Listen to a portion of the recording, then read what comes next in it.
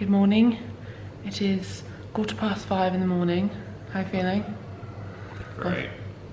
I'm doing alright. Uh, We went to bed at like 10, we're okay. Um, and we're just having some breakfast that IU was very lovely and kind to prepare for us. And we'll be heading out the door soon to go see some dolphins. We're gonna enjoy breakfast and then get on our way. Off we go!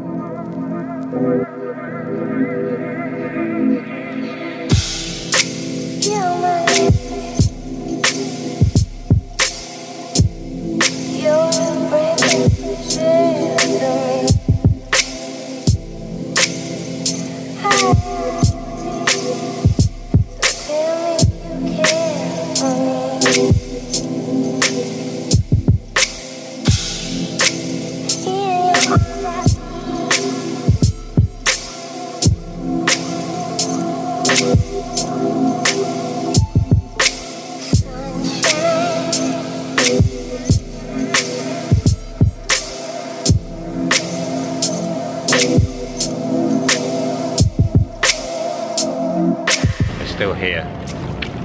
Uh, we've seen a couple dolphins, Yeah. um, but I think now we're just waiting for sunrise for them to come out. I didn't know there'd be so many boats and so many people, and I'm getting all like vegan headed and like, is this disturbing the dolphins? Like, is this upsetting them? But um, I'm glad that like now like loads of them like show they've all like jetted up over there. Um, so I love that. hopefully Yeah. now kind of away from all the other boats. The dolphins up here. Hope so. They were here a minute ago. Yeah.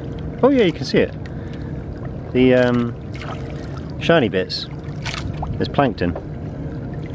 Which is funny because we watched the beach last night and they talk about it in the beach Yeah. and they jumped in the water. Look, there, the plankton, shrimps. When they're disturbed, they glow. Come on.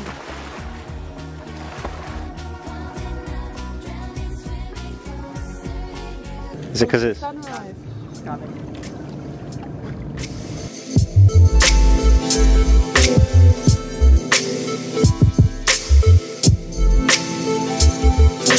I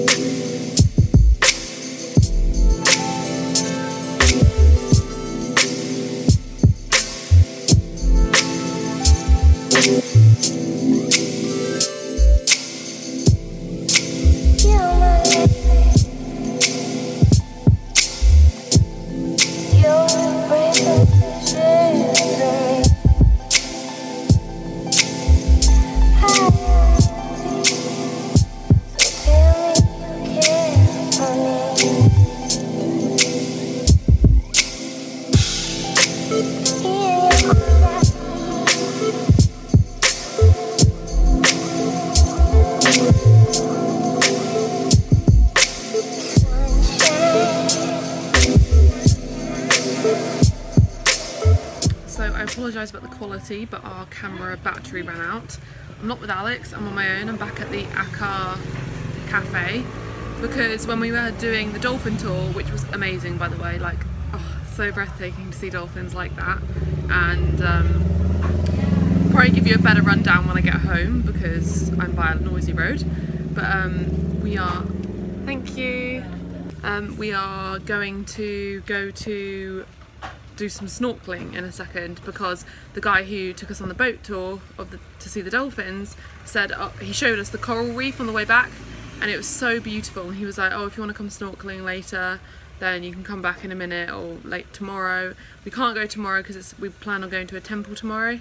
So um, yeah I'm really looking forward to it. There are other people snorkeling it just looked so beautiful. So Alex has nipped back to the villa to just grab a GoPro and um, some towels and his trunks and we've just come back here to get some food and it's just arrived we've got the same meal we got the other day I've got the banana chocolate crepe and Alex has got the tofu scramble wrap I'm really excited I hope I see a Nemo because Finding Nemo is fun fact, my favourite Pixar movie. So yeah, um, I'm excited. I'm also gonna dig into this food right now. I'm not waiting for Alex.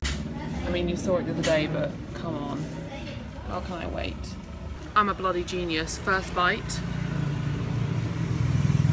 I get chocolate all over my top. Alex is here. I left you a little bit of my pancake because I had a bite of yours. Ah. One for one. We're back on the beach again. About to go snorkeling. I'm excited. Probably going to switch over to the GoPro now to show you all the exciting stuff. Um, Lots of stuff. shut up. Right, let's go.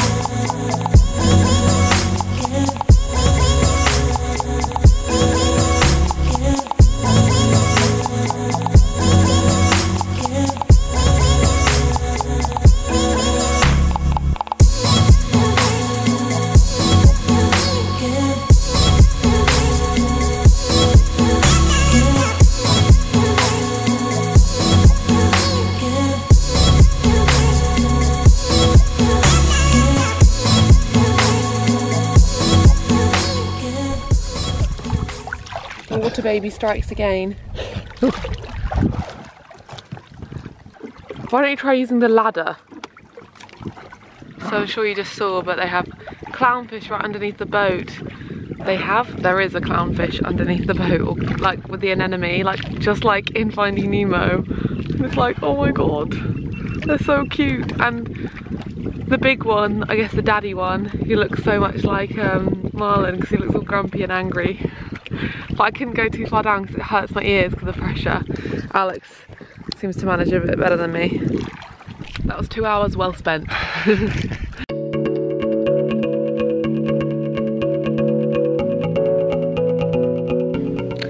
think it's been a long time since I picked you up. It's late at night. We watched Finding Nemo, which was completely appropriate for today after seeing the clownfish. We didn't really talk about the experience though. Alex is editing. You Could easily make two vlogs out of that. I know. footage we got. We've got we so should- much footage. Maybe maybe this will be in two parts, but I don't know. It was absolutely amazing seeing the dolphins. The only bad thing was because it was really packed. There were loads of boats, and the guy was like, oh, "There's not normally this many boats." He said there must have been like a group that went out with like hot- the hotels or something. So that made it kind of difficult because I guess the dolphins are probably quite scared because of all the noise, and it kind of made me feel bad because Well, it's whenever they they'd, they'd come to the surface, and then there'd be a few um, boat drivers. Was that the word? And they just zoom straight over to them, and they'd like go over where they were like swimming. Yeah. Like, well, now they're gone. Yeah, it was like as soon as the dolphins arrived, we were like, "Oh my god, how beautiful!" And then all the boats would just zoom at them and then go over them. It's like, well, you've just ruined it for everybody. It was really frustrating, and it kept on happening. And it was kind of like, you're just, why don't you just stay still? But then loads of the boats went away, and he said, "Oh, because there's so many today." Uh, we'll wait until a lot of them have gone and you'll be able to see them better and we did and it was amazing it was so pretty but also because we're filming it I, I, I kind of regret using my camera so much because I kept on filming it and not actually seeing it with my own eyes. So I kind of regret that. But then the guy who took us out on the dolphin tour was like, hey, do you want to go snorkeling? And that was unbelievably incredible. We were out there for like two hours. I had the most insane sunburn. Maybe I'll show you in a second. And yeah, like it was so, so beautiful to see the coral reef like that. And it was literally like finding Nemo, which is why we watched it this evening. And he showed us where the clownfish were, like under on the anemone, and it was so cool because it was so tiny. This little spot. He obviously knew it. Tiny little spot, quite deep in the in the water, and it like popped your ears if you went too far down. And there were little clownfish swimming in and out, and it was just amazing. We were just swimming around for so so long. I burnt my butt, and yeah, I absolutely loved it. And Alex convinced me to do the snorkeling because I was like, oh, it's too late notice. I don't know. We have to go back and we have to go get our, our kit and oh, can't we do it tomorrow? And like, I don't know, sometimes I find it really hard to make decisions. And Alex was just like, come on, let's just do it. So I'm glad we did it. And I'm really, I napped all afternoon, didn't I? How long did I sleep for? Like two, three hours? Uh, it's hard to tell because I kind of napped as well. Oh yeah, we were so Must have been tired. about two hours. I kind of I came in here and fell asleep. Like, Yeah. By mistake. But um, we'll wrap the video up here. No, not too much talking. It might be a 20 minute video, who knows, because it's such an eventful day, but it was so much fun. And t- tomorrow's our last day in Bali, and then we are off to dot dot dot. You have to wait and see. See you tomorrow. Bye.